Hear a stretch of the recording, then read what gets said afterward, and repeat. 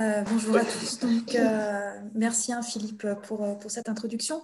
Donc moi, je m'appelle Hélène Gros, je suis chargée de mission biodiversité et agroécologique à l'ACTA. Et donc, je suis ravie d'animer ce webinaire aujourd'hui autour de l'évaluation de la multiperformance des systèmes de production agricole. Alors, pourquoi, pourquoi avoir proposé cette thématique? Déjà parce qu'on l'a vu lors des précédents webinaires autour de la thématique agroécologie, au cours desquels on vous a présenté des pratiques et des systèmes agroécologiques euh, vous posiez régulièrement des questions autour des performances de, telles pratiques et systèmes. Est-ce que c'est viable? Est-ce qu'au niveau de la, charge et de l'organisation du travail, c'est tenable? Est-ce que c'est rentable? Est-ce que les résultats environnementaux euh, espérés sont, effectivement atteints? Mais euh, je dirais, avant même de, de pouvoir répondre à ces questions, il nous semblait important de se poser la question, mais est-ce qu'on a déjà les outils et les méthodes qui nous permettent de répondre à ça?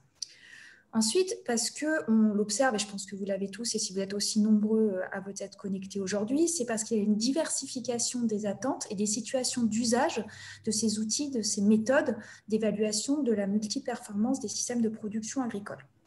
Alors, avant de présenter et de passer la parole aux trois intervenants du jour, que je remercie d'avoir accepté de, de présenter euh, aujourd'hui.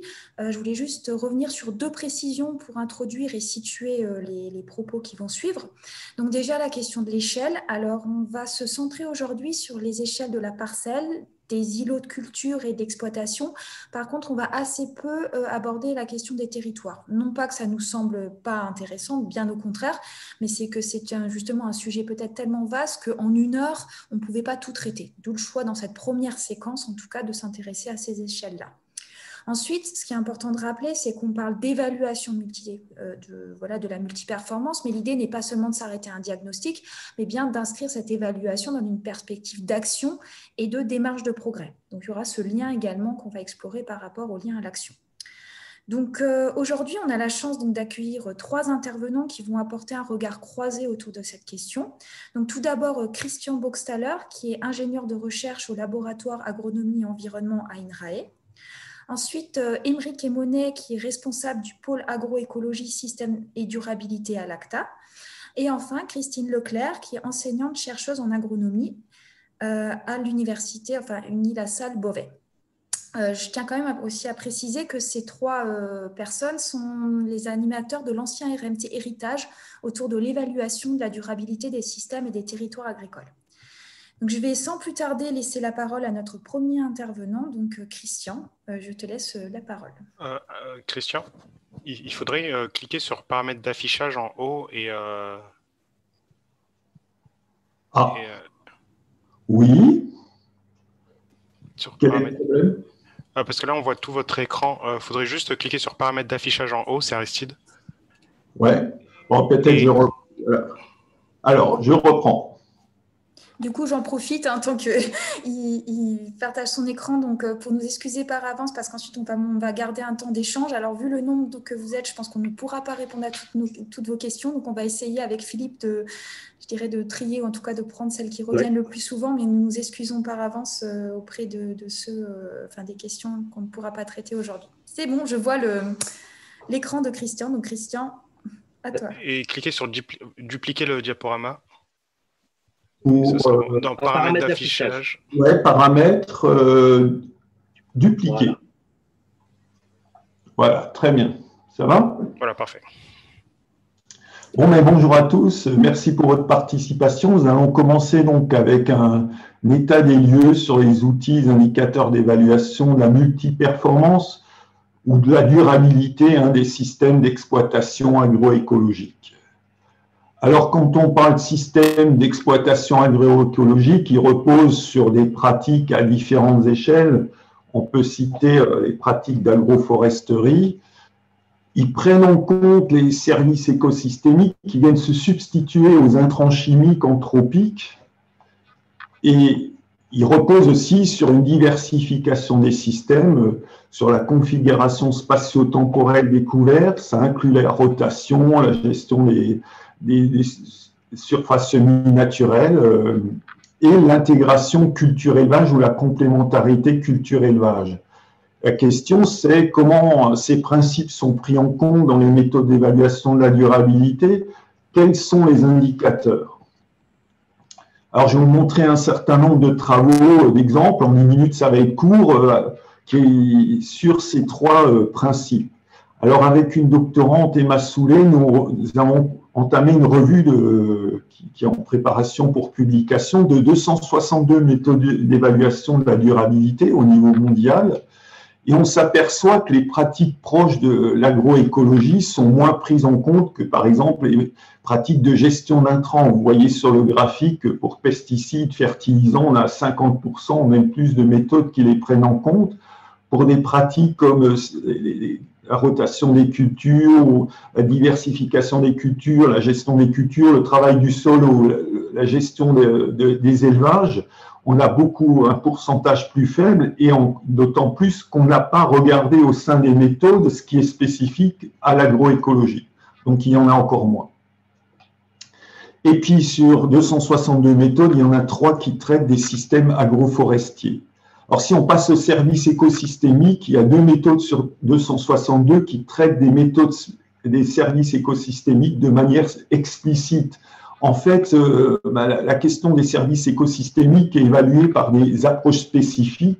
Beaucoup sont basés en fait sur la prise en compte d'usage des sols, des couvertures des sols auxquels on affecte des coefficients euh, de fourniture de services. Alors, quand on s'intéresse aux services écosystémiques, il faut quand même les différencier de la notion d'impact. Et euh, comme ça a été euh, spécifié dans l'étude EFES, euh, INRA EFES, et il faut toujours distinguer, en fait, quelle est aussi la part de l'écosystème, par exemple pour la fourniture d'éléments minéraux, ce qui vient de la minéralisation du sol, versus ce qui vient de l'intervention de l'homme, il y a les engrais. Alors, les services écosystémiques peuvent être modélisés. Il y a des modèles, surtout pour les services abiotiques, le stockage de carbone, la fourniture d'azote, le cycle de l'eau. Pour les services euh, qui sont reliés à des processus biologiques, les approches sont plus empiriques, par exemple pour la pollinisation, la régulation des ravageurs. Alors, un exemple aussi d'indicateur qui est en cours de développement, euh, avec, euh, que je développe avec Olivier Kéchinger dans le cadre de projet d'hiver impact et avec le soutien du GIS Grande Culture. Donc un indicateur de, diversité globale de la rotation qui comprend un indicateur qui évalue euh, les services écosystémiques potentiels fournis par la rotation, donc euh, qui prend en compte les mélanges de cultures, les cultures associées, les cultures dérobées.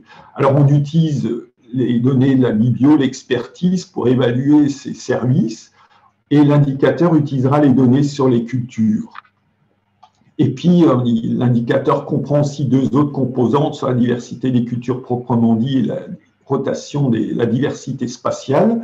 Alors, les services évalués sont les services euh, des services pour l'agriculture, de régulation des bioagresseurs, fourniture de l'azote, des services écosystémiques pour la société comme la lixiviation euh, du nitrate, l'érosion des sols, le stockage de carbone. Alors, pour vous donner, alors, ces services sont agrégés dans, sous-indicateurs euh, avec une méthode d'agrégation qui favorise les rotations avec des résultats homogènes entre services une méthode d'agrégation qui évite aussi la compensation entre notes de service. C'est-à-dire une mauvaise note et une bonne note donnerait une note moyenne. Non, dans ce cas-là, on, a une méthode qui va pénaliser les, systèmes qui ont euh, des, mauvaises notes pour certains services. Alors, des exemples de calcul pour deux rotations que vous connaissez bien, la monoculture de maïs et la rotation colza et orge d'hiver voyez un gradient euh, et puis une rotation diversifiée avec plusieurs cultures, alternance printemps-hiver, des, couverts, euh, des mélanges de couverts. Et vous voyez le gradient des notes et vous voyez aussi la variabilité. Donc, on voit que pour la monoculture de maïs, tout n'est quand même pas noir. Il y a, elle est performante pour le stockage de carbone, mais euh, les fournitures d'azote, la pollinisation, on est vraiment au, minimum. Pour colza et orge, vous voyez le point fort, la régulation des ravageurs, comme la rotation diversifiée. Alors, dans l'équipe, on a aussi euh, travaillé, on est en cours de, avec une thèse, Manon d'Ardonville a travaillé sur une méthode d'estimation des services plus approfondie, où on évalue les, services potentiels, réels, pondérés par les pratiques, notamment l'utilisation de pesticides, et les services vraiment réalisés ou utilisés par l'agriculteur, plus les effets sur le capital naturel, biodiversité, carbone, phosphore du sol. Et on regarde, on évalue les systèmes par un système de notation à partir des connaissances scientifiques euh, disponibles. Et vous voyez l'exemple sur la droite euh, de, de, calcul obtenu pour un réseau d'une trentaine d'exploitations de tout Grand Est. Vous avez en axe des abscisses l'utilisation réelle, en axe, des ordonnées la, les services réels qui sont liés au potentiel et en, en abscisse les services utilisés, excusez-moi. Et vous voyez euh, aussi euh, l'évaluation du capital naturel par les barres vertes. Vers le haut, il y a une amélioration, vers le bas, une dégradation. Et sur cet ensemble de points, on a pu différencier quatre groupes, avec notamment un point, un, groupe euh, en haut à droite, avec des exploitations qui ont un niveau d'utilisation réel élevé et qui utilisent ces services. Et il n'y a pas des exploitations en agriculture biologique dans ce, dans ce groupe. Comme exemple, et puis, euh, donc, euh, pour passer maintenant à, notre euh, principe de, diversification, la complémentarité culture-élevage, vous avez la méthode Nickel développée par Gilles Martel, qui repose sur une, 10 indicateurs, des indicateurs d'utilisation des surfaces, dont l'indicateur pourcentage de culture intermédiaire pour l'alimentation animale dans la SAU. Je crois que Emeric va illustrer ces, ce levier-là, des indicateurs sur l'autonomie alimentaire et en litière de troupeau, donc euh, avec le nombre d'années avec achat de paille, et l'autonomie en fertilisation azotée des végétaux, avec la part des protéagineux dans les surfaces non fourragères. Et euh, ces indicateurs sont agrégés en un, indicateur nickel. Cette agrégation est basée sur une analyse multivariée à partir d'un jeu de données, la base euh, Christian, effectivement, on nous dit qu'apparemment tu es bloqué à la diapo 7. Je ne sais pas si c'est. Alors, zut, euh, qu'est-ce que j'ai. Merci à, à, monsieur ou à madame Archaoui. Mais alors, je crois qu'il y, a la petite blague. Alors, je peux peut-être repartager. C'est mieux. Ben, bon, bon, bon, bon. Oui, partager. Alors, est-ce que là, ça bouge? Oui, c'est bien, merci. Euh. Voilà, j'ai peut-être cliqué à un mauvais endroit, désolé. Alors, euh, par contre, là. Donc, vous voyez euh, dans ce tableau ben, le nombre d'exploitations qui ont, présentent un couplage faible, couplage élevage couplage moyen, couplage fort, sur 1190 exploitations, on remarquera que c'est pour les bovins laits qu'on a le plus d'exploitations avec un couplage faible. Et aussi, euh, le couplage est bien supérieur pour les exploitations en agriculture biologique par rapport au conventionnel. Cependant, les résultats sont valables que pour les exploitations euh, bovines parce qu'il y a suffisamment d'exploitations. Alors, pour dernier exemple, c'est une approche dynamique, cette fois-ci au niveau d'un groupe d'exploitation, donc un territoire, même s'il n'est pas contigu. Donc, c'est un travail mené par Rui Catarino dans le cadre du projet d'hiver impact, encore une fois, où là, c'est une approche de modélisation intégrée avec la plateforme Maëlia développée par Olivier Théron dans l'équipe, donc qui traite donc là, dans ce cas-là, d'un cas d'étude où les exploitations diversifient leur rotation des exploitations de grandes cultures et échangent les légumineuses avec des exploitations en élevage. Et donc, euh, a permis de, modéliser un certain nombre de choses. Le niveau d'approvisionnement, euh, en haut à gauche, sufficiency, désolé pour l'anglais, donc, on voit la variation d'année en année, puisqu'on travaille avec des données climatiques hein, euh, sur plusieurs années, mais on voit qu'on est toujours au-dessus des tirets, qu'on est toujours à un niveau satisfaisant, une satisfaction des besoins en grains de, de et en grains de poids. La plateforme a aussi calculé des indicateurs de durabilité classiques, euh, les rendements, la marge brute, l'efficience économique, l'utilisation d'azote et de pesticides, le travail Vous voyez quand même pour deux indicateurs, il n'y a pas d'amélioration quand on rentre dans, on simule ce système avec échange entre exploitations, euh, rendement énergétique, oui, parce qu'on introduit plus de légumineuses qui ont des grains qui sont moins riches en énergie. Pour les pesticides, il y a une petite euh, chute aussi, néanmoins qui est due aussi à l'introduction de légumineuses qui utilisent plus de pesticides. Et puis, plus intéressant aussi, c'est qu'il a calculé des indicateurs de vulnérabilité. Donc, il y a la moyenne, c'est pour la, marge brute qui augmente. Par contre, la pente augmente moins que pour le, système sans partage. Par contre, point positif, c'est que la variabilité de la marge brute diminue entre les années, ce qui améliore euh, euh, l'aspect dynamique euh, de ces systèmes avec partage. Et pour terminer, donc, il est clair qu'il faut encore mieux prendre en compte les pratiques de l'agroécologie, les services écosystémiques qui, sont un grand principe de l'agroécologie dans les méthodes d'évaluation de la durabilité. Il y a plusieurs travaux en cours sur des indicateurs de systèmes de services écosystémiques au niveau des systèmes de culture. Il y a des méthodes statiques, dynamiques pour la complémentarité élevage-culture. La question qui se pose, c'est de, pour pour les utilisateurs, c'est qu'il y a nécessité aussi de passer à des outils opérationnels avec un calculateur convivial, des bases de données pour nourrir le calcul. Et il me reste à vous remercier pour votre attention. Et nous, on te remercie, euh, Christian, pour cette, euh, cette présentation et pour avoir euh, bah, tenu les 10 minutes. Je propose de passer tout de suite la parole à Émeric pour ensuite garder du temps pour, pour les échanges. Alors, le temps que Emric euh, partage son écran, euh, Christian, si tu vas dans QR, il y avait une personne qui demandait si tu pouvais avoir la biblio citée oralement par l'intervenant. Donc, peut-être, est-ce que tu peux répondre en direct à cette question si tu la vois comme ça? Euh, la biblio? Ouais, tu vois dans le chat, il y a, dans le QR, il y a une personne qui demande. Oui, bah, ça, je remettre sur le, le, PowerPoint qui sera partagé les références, si vous voulez. Très bien. Bah, du coup, Émeric, si ton écran est prêt, euh, je te laisse la parole. Vous voyez mon écran? Oui, très bien.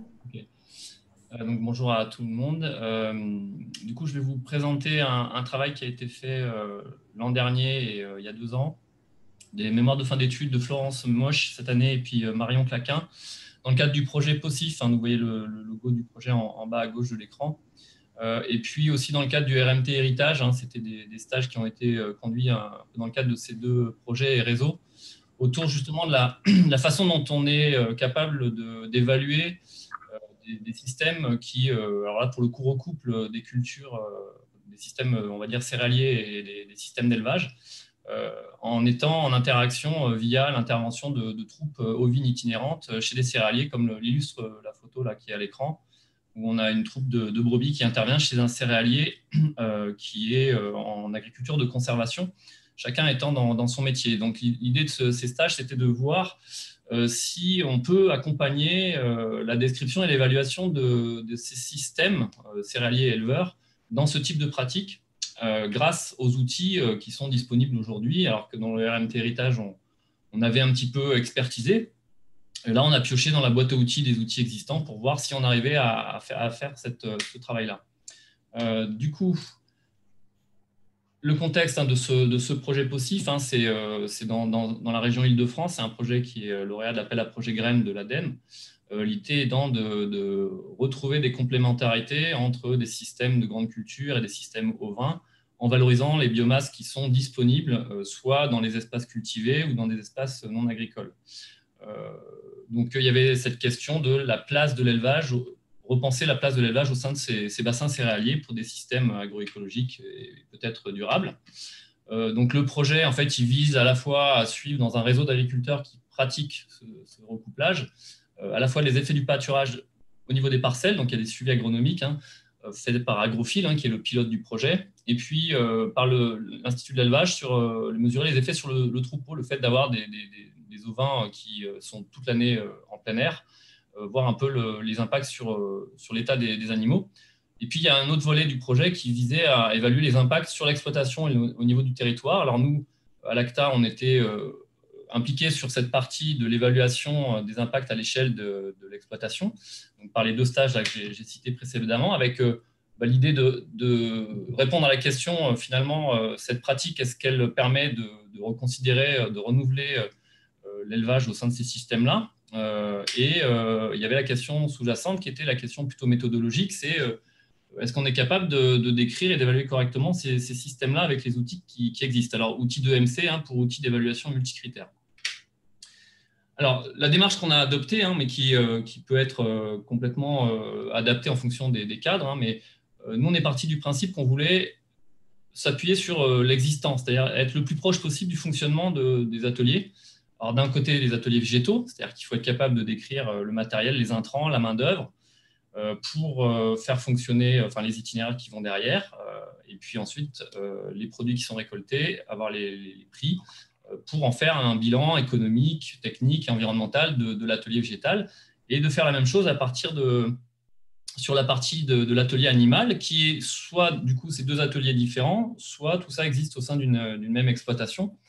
Euh, dans tous les cas, euh, on est aussi en, l'idée, c'est de, mesurer les interactions. Euh, alors classiquement par des échanges de, paille et de fourrage ou de, fumier avec un certain nombre de, on va dire de de comment je n'arrive pas à trouver le mot, mais de, euh, de règles qui fonctionnent. Et puis, on va dire l'intérêt là, euh, en tout cas le, challenge qui était posé, c'était comment on modélise l'interaction, enfin l'intervention du pâturage euh, au sein de ces systèmes-là qui sont donc en mode de, recouplage et comment on fait un bilan économique et environnemental de, tout ça. on a la même question sur la partie temps de travail. On, a, on a distingué dans les diapos ces deux parties parce que euh, il faut être aussi en mesure, c'est un, facteur important, c'est un indicateur important, le, temps de travail. Et donc, on fait le même travail de description de ce qui se passe dans la partie végétale en termes d'intervention dans les parcelles et au niveau de l'atelier animal, euh, sachant qu'on ne prend pas en compte, hein, c'est un, un, prérequis méthodologique, tout ce qui concerne l'entretien des bâtiments, du matériel, la vente des produits, l'administratif. Hein. On est vraiment sur euh, un temps de travail estimé sur la conduite soit des cultures, soit de l'élevage. Euh, alors, l'évaluation multicritère, en fait, elle avait euh, dans le projet et dans les stages trois objectifs. On s'en sert pour acquérir des références, c'est-à-dire qu'on décrit ce qui se passe dans ces systèmes et on évalue euh, et on essaye de voir à partir de ça ce qui marche, les impacts que ça a. il y a un aspect aussi de communication avec l'établissement de fiches qui sont dans le projet en cours de rédaction pour partager les expériences de ces agriculteurs.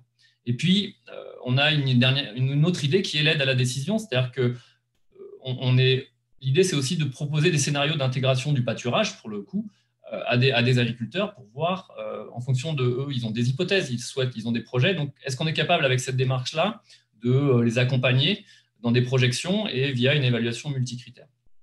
Alors, vu que c'est des systèmes un peu complexes, hein, parce que là, en fait, ce qui était intéressant, ce qui est intéressant, c'est qu'on essaie de recoupler, de croiser les, systèmes entre eux. Chaque, les outils qui existent sont plutôt euh, assez bons dans leur domaine. Hein. C'est-à-dire, vous voyez sur la partie haute, là, en grande culture, on a utilisé euh, l'outil Sister, et puis euh, au niveau de l'élevage, on a utilisé plusieurs outils pour arriver à peu près à la même batterie d'indicateurs que fait Sister en grande culture. Donc, en élevage, on a utilisé Simulbox, Cap2ER, et puis le, bilan travail pour avoir une, une batterie d'indicateurs que je vous présenterai. On s'est bien sûr appuyé sur un certain nombre d'entretiens auprès des agriculteurs pour euh, faire ce travail ensuite de description dans les outils d'évaluation. Et puis au final, on a eu euh, des restitutions des résultats de l'évaluation avec une modalité sans pâturage, avec pâturage, voire avec un scénario qui était construit euh, sur la base de ce que l'agriculteur voulait faire. On a aussi mobilisé deux autres outils, Nickel et le diagnostic RAD. Alors, je ne vais pas présenter ici parce que Nickel a été un petit peu chahuté la première année les paramétrages n'étaient pas adaptés pour pouvoir gérer euh, la situation qu'on rencontre dans le projet, mais ça a évolué depuis, mais du coup, on ne l'a pas mis en œuvre en 2020. Et puis, le diagnostic RAD, j'ai moins regardé, euh, enfin, on est allé un petit peu moins loin, donc je n'irai pas jusque-là. Mais sachez que cette boîte à outils là, qui a été mobilisée, euh, elle peut être complétée, ajustée, mais déjà, on voulait voir ce que ça donnait avec ce, cas-là. une photographie du réseau, hein, je ne vais pas du tout rentrer dans le détail, mais voilà, on s'adresse, vous voyez, c'est le sud du bassin parisien, ça va jusqu'au nord du Loiret. On est avec euh, un profil, il faut regarder par ligne. Ce sont là, ici, euh, on va regarder plutôt cette ligne-là, le, cultivateur, là, un grande culture qui a un, céréalier en, agriculture biologique, avec un atelier de maraîchage et qui fait intervenir deux éleveurs sur ces parcelles. Et, ils travaillent également avec des gestionnaires d'espace. Enfin, ce sont les bergers qui travaillent avec des gestionnaires d'espace. En fait, l'idée de ce tableau, c'est de vous montrer qu'il y a une diversité de populations, de situations rencontrées dans le cadre de cette pratique. Euh, et donc, euh, c'était intéressant aussi par rapport aux outils qu'on a mobilisés de voir dans quel cas euh, est-ce qu'on arrive à chaque fois à bien atteindre nos objectifs d'évaluation multicritères dans ces différentes situations. là, on va, je sais pas, je, il me reste cinq minutes peut-être. Ouais, il faut que tu ailles un peu, un peu... plus vite. Le cas d'étude que, que, je voulais juste illustrer, c'est ce céréalier, donc, qui a une exploitation d'agriculture biologique qu'il dit de lui-même conventionnelle, donc, c'est une grosse exploitation, vous voyez, plus de 300 hectares avec un assolement assez diversifié sur la base de, grandes cultures et de luzerne importante dans l'assolement, hein, 30, de luzerne. La rotation est basée sur euh, voilà, luzerne, des céréales et des cultures de, printemps. Et euh, l'idée de faire intervenir chez ce céréalier, lui, l'agriculteur, dit c'est pour lui un outil agronomique euh, qui va lui permettre de gérer ses couverts, de réduire le salissement de sa luzerne et puis d'améliorer la fertilité et le talage. Euh, donc, on a décrit complètement dans les outils que je vous ai indiqués son, exploitation. Euh, les éleveurs sont intervenus euh, dans, cette exploitation pour pâturer soit des couverts, soit les luzernes, soit les céréales avant la montaison. Donc, vous voyez, il y a un itinéraire de, pâturage qui a été construit avec, entre, les céréaliers et les éleveurs. Hein. Là, nous, on n'intervient pas forcément dans, le projet. Mais vous avez voilà, le, un, levier d'action par le, pâturage euh, qui, est intervenu à différents moments sur différents espaces cultivés chez ce céréalier. Et euh, les résultats qu'on a obtenus, donc là, c'est une extraction et de, certains indicateurs euh, issus des, outils que je vais citer, où on voit avant pâturage, on, a, retenu un certain nombre d'indicateurs autour d'indicateurs techniques, économiques ou environnementaux. donc, vous voyez, c'est un IFT à zéro, puisque c'est un agriculteur en, grande culture qui n'utilise pas de, produits chimiques de synthèse. Euh, et puis, on a regardé ce que ça donnait avec l'intervention du pâturage, alors sur la base de ce qui a été fait en 2018-2019, euh, et on voit la déformation des indicateurs une fois qu'on a appliqué cette contrainte de, pâturage. Là, on a la photographie chez le céréalier, on aurait la même photographie que je pourrais vous présenter chez les éleveurs avec euh, le même type d'indicateur. Et on, on observe les différences. Alors, elles sont faibles, il y a peu d'écart. Alors, il faut voir que c'est des pratiques qui restent encore un peu nouvelles. Donc, les agriculteurs ne modifient pas complètement encore leurs pratiques euh, du fait de la, euh, de, l'utilisation du pâturage. Mais cela dit, on, peut déjà dégager quelques, quelques aspects. On voit que le fait de pâturer les couverts, ça permet à l'agriculteur de remplacer le broyage des couverts et donc de diminuer son temps de travail, un peu de charge de mécanisation, un peu de consommation de carburant. Il a diminué un peu ses charges d'engrais du fait de. Il n'a pas apporté de, fumier sur ses luzernes du fait que les, brebis pâturent sur ses parcelles. Puis euh, une légère augmentation de la marge nette vous voyez la, démarche, l'idée c'est de voir un peu comment se, se déforme, euh, une fois, avec ce type de pratique, les, euh, euh, les, résultats des indicateurs. Alors si on revient sur la, sur la méthode, comme je disais, l'idée c'était de voir en finalement en couplant, en combinant ces différents outils, est-ce qu'on arrive à, à, faire une évaluation multicritère. en fait, on s'est, les stagiaires, les deux stagiaires, Florence et, Marion, ont construit en fait un, fichier Excel qui va rassembler les résultats des différents outils qu'on a utilisés et, on les positionne soit pour euh, caractériser l'atelier culture, soit l'atelier élevage, soit l'exploitation si c'est dans la même exploitation. Euh, donc, il y a des règles d'affectation à établir pour comptabiliser les effets du pâturage euh, sur les ateliers concernés et des arbitrages à faire pour choisir des fois des indicateurs qui sont calculés par deux outils. Donc, on, est, on est bien sur un exercice qui n'est pas complètement immédiat, qui nécessite des fois de, de, faire attention à ne pas compter deux fois euh, un, indicateur. Euh, donc notre boîte à outils, elle, est, opérationnelle, mais euh, on peut l'améliorer. Et peut-être pour conclure hein, sur, ce travail qui a été réalisé, donc sur la pratique du pâturage, on voit que ça impacte plus ou moins fortement l'organisation et les performances des systèmes qui ont recours. Hein. Là, c'est très, vite, très rapide ce que j'ai présenté, mais il y, a, beaucoup de choses à dire. Et puis le projet POSIF, quand il, finit l'année prochaine, il y aura pas mal de, résultats qui seront présentés. Euh, je parlais de fiches qui présentent euh, les, travaux. En fait, cette évaluation multicritère, elle est intégrée dans, euh, des fiches qui explicitent, un petit peu ce que je, ce que je vous ai dit hein, pour, présenter ça. Donc, les résultats des suivis agronomiques et des troupeaux auront lieu en fin de projet l'année prochaine. Et puis, alors, si on revient sur la méthodologie, sur les, outils, comme je vous disais, c'est bon, nous on a on a réussi à, à peu près atteindre nos objectifs, c'est-à-dire que la, méthode, les outils, enfin, la méthode mise au point est opérationnelle, mais elle est largement optimisable. Euh, alors, d'une part, on a besoin de beaucoup d'informations assez détaillé sur les pratiques et fonctionnement du système. C'est un parti pris qu'on a adopté, mais ça nous permet d'accéder à une certaine finesse de diagnostic et des projections. mais bon, c'est lourd. après, pour optimiser ça, euh, bah, il, faut, combiner les, outils entre eux. on peut le faire. On peut jouer aussi sur leur interopérabilité, c'est-à-dire que des données de pratique, des fois, elles ont été importées dans certains outils, dans Cister, via des, itinéraires techniques qui avaient été euh, saisis dans mes parcelles, par exemple, par des agriculteurs.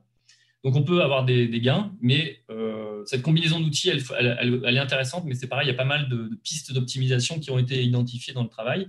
Et pour nous, il me semble que c'est un vrai enjeu de recherche et de développement euh, pour qu'on soit en mesure d'accompagner les, acteurs dans ce type de transition qui euh, nous oblige à sortir de nos logiques de filière, entre guillemets. Voilà, donc c'était un. ça, a permis de confirmer cet enjeu-là qu'on avait identifié dans Héritage.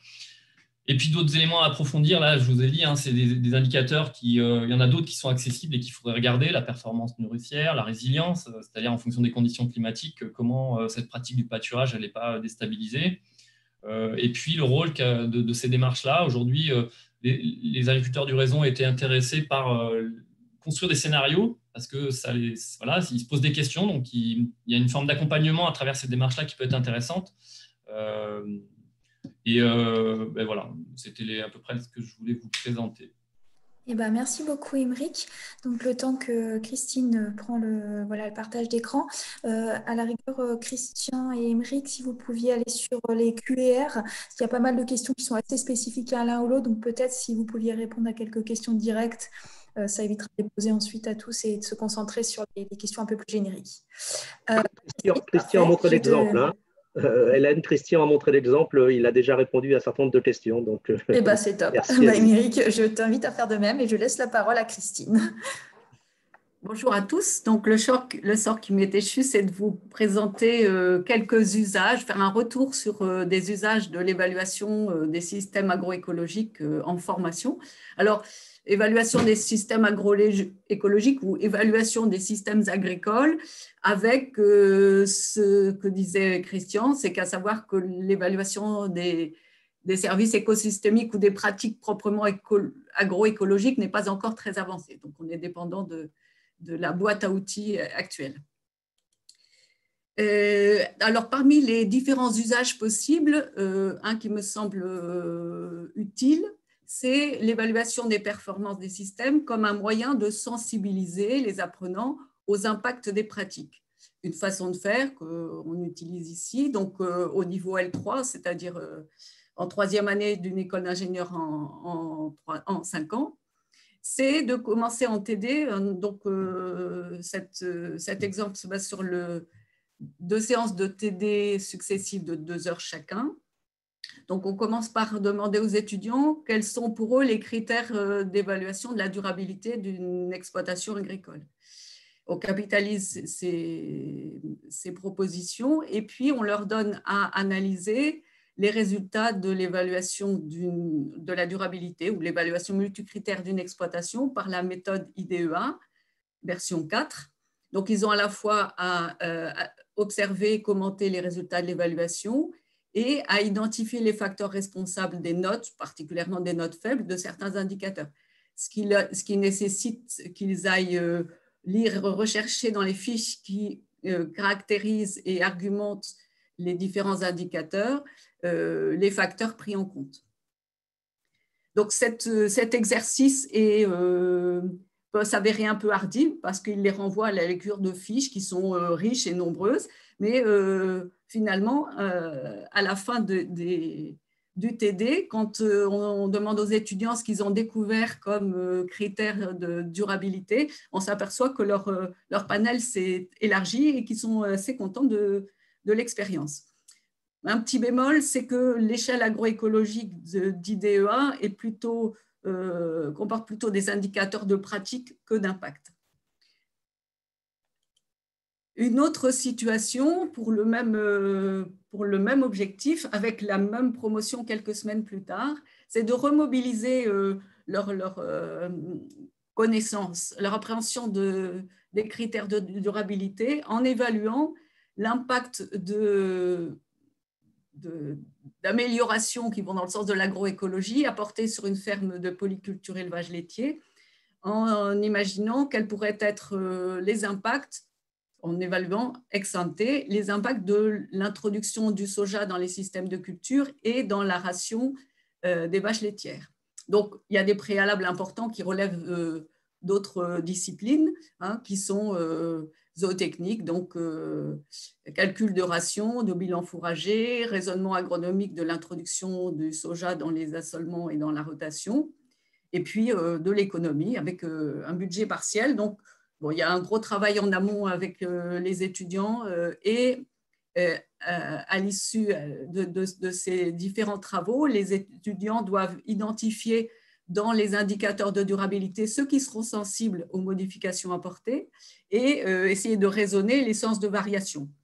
Alors, IDEA n'est pas, n'est pas configuré pour évaluer les effets de changement de pratique et donc parfois le, le résultat de l'agrégation est incertain puisque des items d'un même indicateur peuvent varier en sens inverse. Mais finalement, l'exercice s'avère tout à fait formateur. Il est moins long qu'une évaluation complète et, euh, et, il est intéressant justement pour, euh, pour l'évaluation d'une amélioration euh, agroécologique. Alors, au-delà de cet usage, un usage qui me semble central, c'est celui de l'évaluation des performances des systèmes comme moyen de diagnostiquer et de proposer ou de tester des améliorations. Alors, je continue à utiliser IDEA 4. Bon, pour, simplifier, j'ai pris des exemples fondés sur cette méthode. Euh, et donc là, il s'agit d'évaluer la durabilité d'une exploitation et de formuler des propositions. Et donc l'exercice peut commencer dans l'idéal avec la collecte des données dans les exploitations partenaires jusqu'à la restitution avec l'agriculteur. Donc en passant par les phases qu'on a vues de euh, collecte, euh, traitement des données, observation, commentaire des résultats, diagnostic et puis en déduire des propositions. Et cet exercice est, très, est à la fois long, euh, mais il est l'occasion pour les étudiants de remobiliser euh, euh, des connaissances et des compétences acquises dans des disciplines variées derrière cet apprentissage-là. Et puis, c'est un apprentissage de la complexité, avec néanmoins le risque, dès qu'on a une application informatique, que les apprenants saisissent des données et ils appliquent les calculs et les outils numériques sans attention, sans appropriation des impacts et de leurs facteurs, et donc euh, au détriment de l'objectif. Donc, du coup, parfois, les résultats sont commentés un peu succinctement. Il faut insister pour, euh, pour que l'analyse soit approfondie. Et on sent qu'il y a un risque que euh, les étudiants manquent de recul par rapport aux outils, la mise en œuvre des outils, et que du coup, au-delà de, des critères de facilité et de rapidité d'utilisation des outils, leur, leur appréhension euh, de leurs limites soit un peu, un peu restreinte. Voilà, il y a aussi pas forcément beaucoup de tentatives pour corriger euh, les résultats en fonction des limites de la méthode. Euh, sous, le même, sous le même objectif, l'évaluation des performances des systèmes, mais ici des systèmes de culture, nous l'utilisons aussi comme moyen de diagnostiquer et de même de tester ex ante des améliorations. Alors, à l'échelle du système de culture, nous pratiquons euh, dès la L3, dès le niveau L3, euh, la conception de système de culture avec et pour un agriculteur, donc évaluation de, de système pratiqué, évaluation ex post, conception de système alternatif en atelier de conception, et puis évaluation ex ante de système alternatif. Euh, là, nous utilisons la démarche Steffi et son calculateur associé qui permet d'évaluer euh, des performances essentiellement économiques, quelques indicateurs euh, environnementaux simples et, le temps de travail ou le nombre de passages. Et puis nous pouvons y associer euh, des indicateurs et outils tels que Simeos AMG pour l'évaluation des impacts sur le stock de carbone organique du sol et GES, des indicateurs de complexité technique ou de, risque de tassement, par exemple. Alors, il y a beaucoup, de, ça veut dire voilà, utiliser, euh, utiliser le calculateur Steffi, c'est parfois source de, quelques euh, euh, problèmes puisqu'il n'est pas toujours compatible avec tous les ordinateurs. Et puis surtout, ce qui peut être décevant, c'est que les, étudiants n'utilisent souvent que le scénario de prix moyen, alors que l'outil permet de simuler différentes hypothèses de prix et des prix de vente et des prix des intrants. Et c'est dommage parce qu'ils sont pourtant sensibles en général à la question de la robustesse ou de la résilience selon les définitions qu'on donne des systèmes, notamment en termes économiques.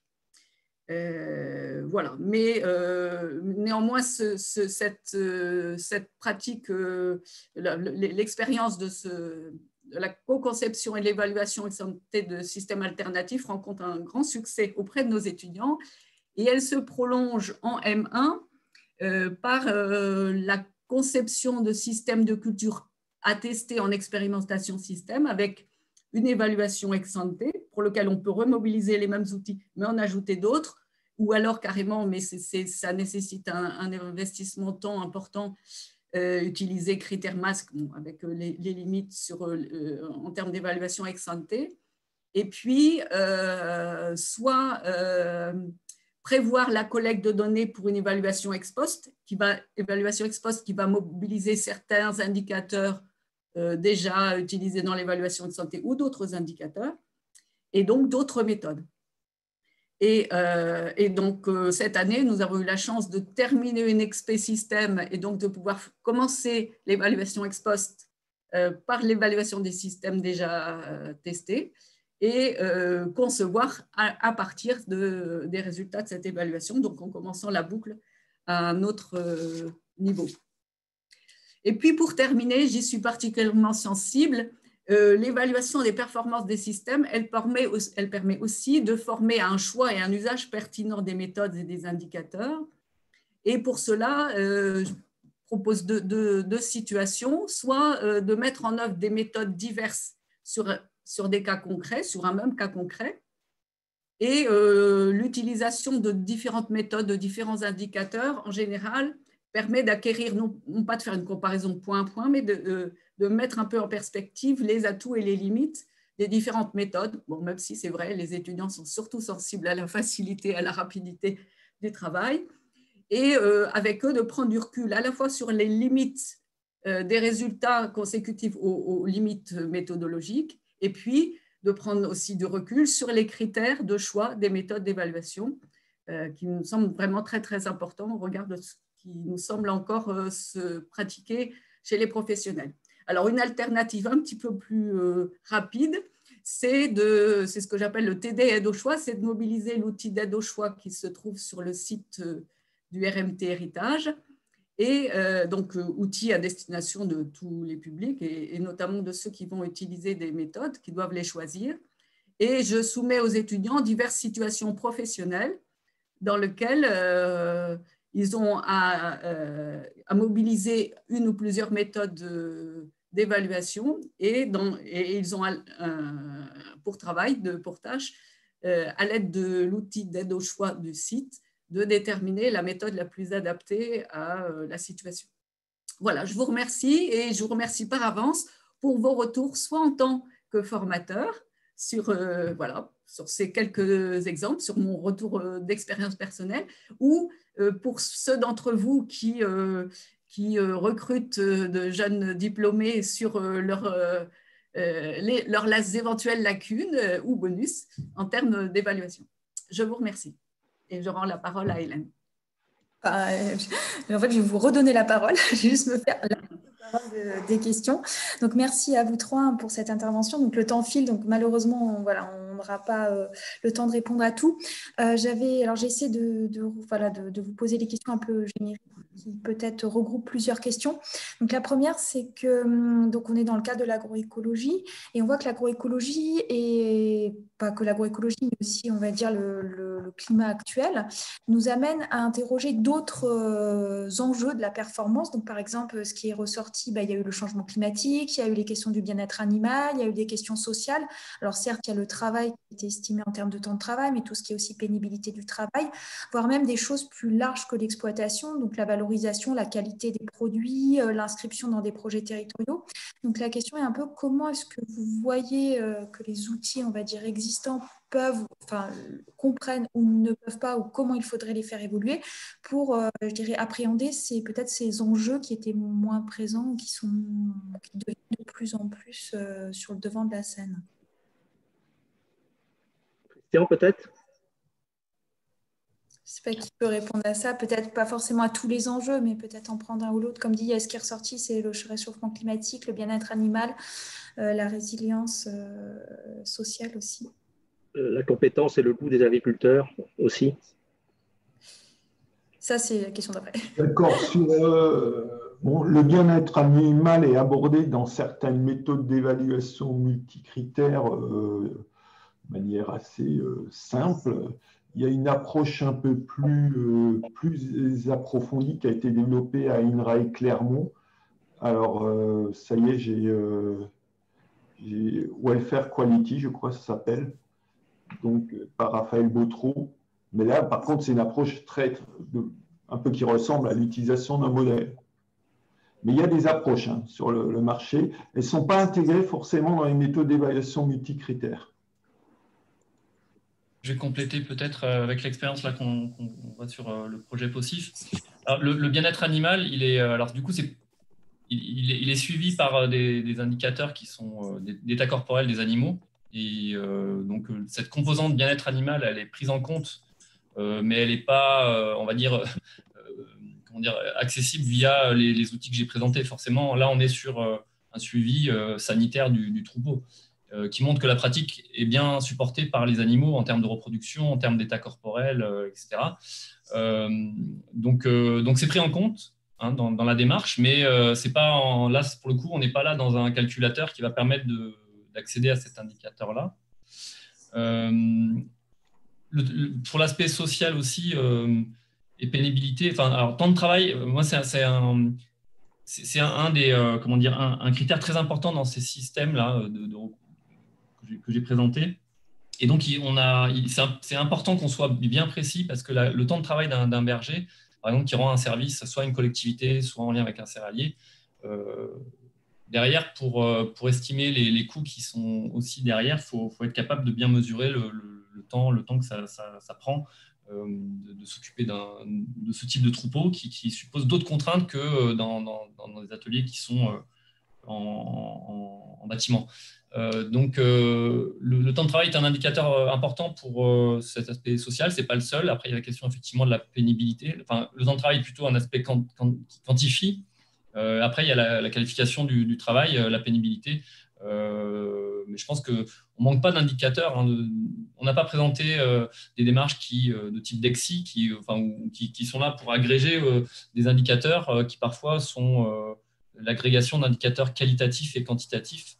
Euh, donc, euh, donc, je pense que ces dimensions-là, elles sont intégrées. Euh, finalement, il n'y a pas de liste, il a pas de liste idéale d'indicateurs uniques et, et, finis. Quoi. Ça, dépend des objectifs. Il faut, voilà, je crois qu'il faut adapter en fait le choix des indicateurs aux situations qu'on rencontre. Quoi. Et vas-y, Christine, ouais. Oui, alors à la fois adapté et en même temps, euh, on, partage tous les trois, et c'était vraiment quelque chose de euh, fondamental dans l'héritage, c'est euh, l'importance incontournable de l'évaluation multicritère, c'est-à-dire qu'il faut peut-être de la souplesse pour alléger les, les évaluations, mais en même temps, le, risque est toujours de mener un diagnostic trop partiel et qui amènerait à des propositions qui risquerait de dégrader des indicateurs sans qu'on en, notamment en évaluation ex ante, de dégrader des indicateurs sans qu'on s'en aperçoive si on restreint trop les, le, spectre des indicateurs. je voudrais juste, j'ai un petit peu signalé aussi, alors c'est un petit indicateur, mais je le fais pratiquer aux étudiants. Il est très simple de calcul, euh, il peut être discuté, mais c'est l'indicateur de complexité des systèmes de culture. C'est-à-dire que voilà, il y a des cultures qui sont réputées euh, plus simple à mener parce que mieux connu, euh, à la fois par les, par les praticiens et par les agronomes, et puis des cultures plus complexes dont les itinéraires techniques sont, offrent plus de choix et, euh, ou sont, moins connus. Et, et, ça permet un petit peu d'évaluer la complexité d'un système de culture. Et à mon avis, c'est un indicateur d'ordre social aussi. Alors après, il y avait des questions euh, peut-être plus sur euh, l'usage euh, enfin, de, ces outils et de ces méthodes et les utilisations faites. Alors l'usage, c'est-à-dire, effectivement, vous avez présenté des méthodes qui sont souvent mises en œuvre ou à mettre en œuvre par des conseillers ou par des gens extérieurs ou peut-être par des étudiants, mais est-ce qu'il existe des choses ou comment les agriculteurs eux-mêmes peuvent se saisir de ça? Et de l'autre côté de la chaîne, on disait, je l'avais mis en introduction, l'objectif c'est aussi bah, pas seulement de faire un diagnostic pour se faire plaisir, mais aussi pour passer à l'action. Donc Comment vous voyez ce lien à l'action et ce lien à l'action aussi avec peut-être les autres personnes concernées par les services de ces exploitations, donc pas que le monde agricole, mais éventuellement comment les sorties de ces diagnostics peuvent amener à des changements de pratique à, un niveau plus global que l'agriculteur. Je ne sais pas qui peut répondre à ça, qui veut répondre à ça. Je veux bien entamer par le plus facile. je laisse à mes collègues le reste. Voilà, dans, dans le panel des outils, euh, et méthodes, euh, un certain nombre sont, euh, sont des méthodes utilisées ou utilisables par les agriculteurs. Alors, IDEA 4, peut-être pas, mais IDEA 3, enfin, la famille IDEA a été pensée pour des autodiagnostics d'exploitation, la grille du RAD, qui est dans le même type d'esprit également. voilà, alors ça peut être fait soit en autonomie par l'agriculteur, euh, je pense à un aussi. Ça peut être fait par euh, un agriculteur avec un conseiller. Enfin voilà. Donc il y a, oui, il existe des outils et des indicateurs qui sont simples d'utilisation et qui sont utilisables par les praticiens. À vous, messieurs. Mais pour prendre, oui, il y a des, des, outils qui sont utilisables par les agriculteurs, bien qu'ils aient métier d'agriculteur est si complexe euh, qu'ils ont mm. souvent peu de temps pour investir. Mm. Et euh, ce que je me souviens même de témoignages d'agriculteurs sur la méthode IDEA qui disaient ça permet de faire un premier état des lieux, mais très vite, ceux qui veulent aller plus loin ont besoin d'outils plus élaborés. Et là, ils ont, euh, ils ont souvent plus le temps de les mettre en œuvre et ont mm. besoin d'accompagnement notamment quand on euh, calcule les indicateurs d'impact liés aux pesticides comme IFI. Euh, voilà. Alors, euh, c'est peut-être qu'on n'a pas fait encore un, effort suffisant aussi, hein, mais à coup pas sur la partie outils, mais c'est la partie où on a souvent manque de, moyens hein, pour rendre ces outils hyper conviviaux, avec, en lien avec des méthodes, et on, réfléchit, on voudrait progresser là. on a des réflexions. Après, le lien à l'action, euh, ça dépendra toujours des, indicateurs. C'est encore une partie aussi qui est un peu un, front de recherche, vraiment le passage du résultat de l'indicateur à l'action. Et là aussi, il y a à la fois des aspects théoriques et des aspects euh, d'outillage pour vraiment tout de suite pointer euh, et en même temps, euh, où est-ce qu'il faut améliorer? En même temps, est-ce qu'il euh, est qu'il faut un outil qui, qui, fasse tout? Il faut quand même une expertise du conseiller encore ou de l'agriculteur lui-même euh, à partir des résultats qui, qui, suscite la réflexion et qui ne soit pas juste quelque chose qui pond tout de suite une feuille de conseil. Mais je suis sûr que si je dis ça, il y aura deux groupes, il y aura les pour et les contre des deux côtés. Ça, je l'en suis sûr. Euh, Christine, tu veux compléter Je voudrais ajouter aussi que cette question de euh, qui peut prendre en main une méthode et, s'en servir, c'est une question que nous avons traitée dans le RMT héritage et même dans ses ancêtres plages. Euh, et, l'aide au choix, il fournit, et les fiches de description des méthodes fournissent aussi cette information-là, c'est-à-dire qu'est-ce qu'il faut comme, comme compétence, qu'est-ce qu'il faut comme temps, aussi quel est le coût, enfin voilà, de la mise en œuvre de la méthode ou de l'outil. Je compléterai euh, peut-être en, disant que, de mon point de vue, ce n'est pas, pas aux agriculteurs d'utiliser forcément ces, outils. Hein. On ne peut pas tout leur demander. C'est à nous. Enfin, nous, quand je dis nous, c'est euh, les conseillers, c'est les prescripteurs. À nous de leur construire des, outils qui, va, qui, vont les aider à faire les, choix, soit à l'échelle de leur exploitation, soit à des échelles plus larges.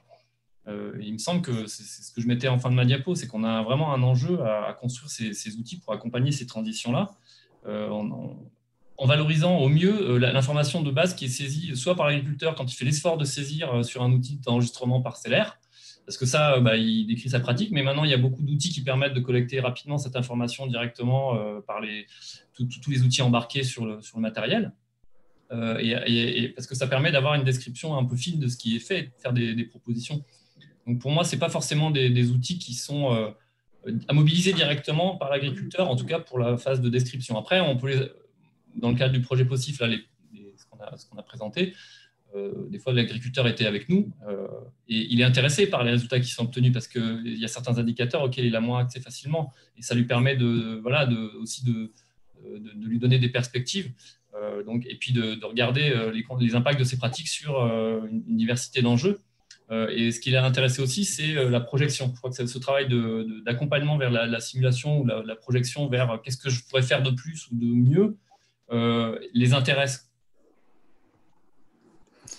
Merci. Alors, je vois l'heure qui défile, mais je pense que j'ai le temps pour une dernière question. Je compte sur vous pour avoir des réponses euh, courtes parce que voilà, la règle a été qu'on s'arrête. Euh, voilà, on est bien sur des créneaux 13-14 heures. Je pense qu'il y avait pas mal euh, de, questions et même voire peut-être une crainte par rapport au fait qu'on se sent peut-être beaucoup sur l'économie et la biodiversité a été citée à plusieurs reprises. Est-ce comment elle est prise en compte? On a entré aussi par les services. Est-ce que du coup il y a cette notion que la biodiversité peut avoir une valeur intrinsèque et est-ce que ces outils outils-là permettent de quantifier cette valeur intrinsèque de la biodiversité Donc voilà, c'est une très grosse question, mais euh, si vous pouviez en un mot ou deux, en tout cas rassurer peut-être du moins les, personnes qui s'étaient interrogées sur la place de la biodiversité dans ces approches d'évaluation multicritères.